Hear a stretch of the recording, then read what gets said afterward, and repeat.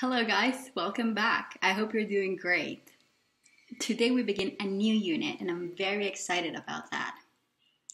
So, first, we're going to begin talking about one of the main concepts of this unit, and that is change. What is change? Change is when something goes from one state to the other. It's important to understand that change is universal and inevitable. That means that sometimes you cannot stop it.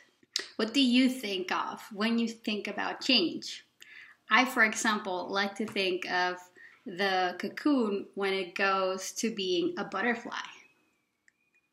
And I also like to think about how colors change when we mix them together. Okay, and now we're going to talk about a period of time where the world changed a lot. It's called the Renaissance and it occurred mainly in Europe.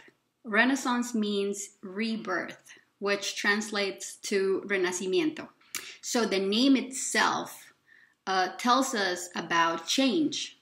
It's basically the name we give to the time where people went from the Middle Ages to modernity.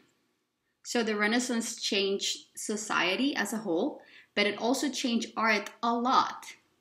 And there are many artists that we know from the Renaissance. The most famous artists that we know from the Renaissance were called Leonardo da Vinci, Michelangelo, Donatello, and Raphael. Do those names sound familiar? That's because those are the names of the Teenage Mutant Ninja Turtles, too. They were named after these four Italian Renaissance artists. So, even though the Renaissance occurred mainly in Europe, the change that occurred in art affected the whole world of art. And today we're going to talk specifically about Leonardo da Vinci. As I said, Leonardo da Vinci was from Italy, and you may know him because he was the painter who created the famous Mona Lisa, which is arguably the most famous painting or artwork in the whole world. So, Leonardo da Vinci is very well known as an artist. He was an amazing painter. Take a look at these paintings that he made. But he was also a scientist and he was also an inventor. He loved to investigate, discover new things, and generally just um, explore how the world works. So now I'm going to show you a few of his inventions.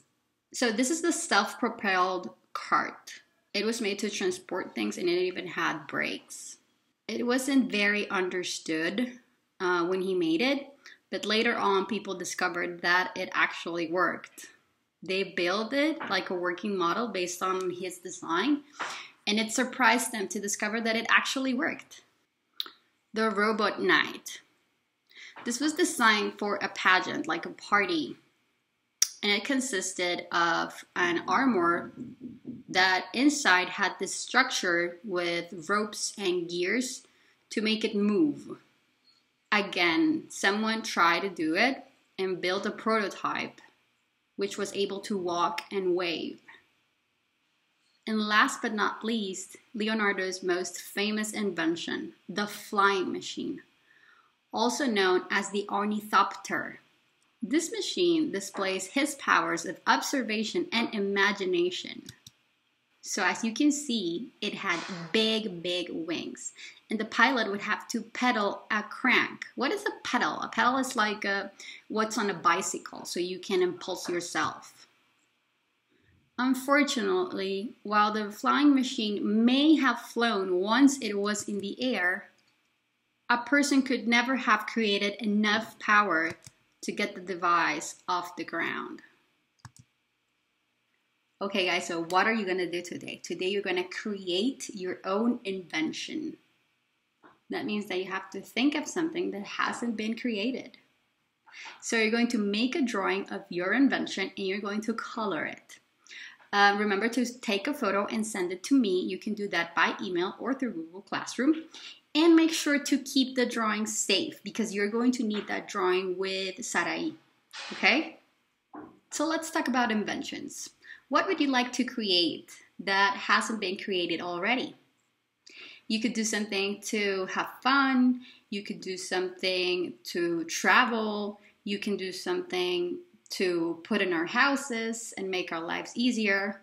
So, what can you think of?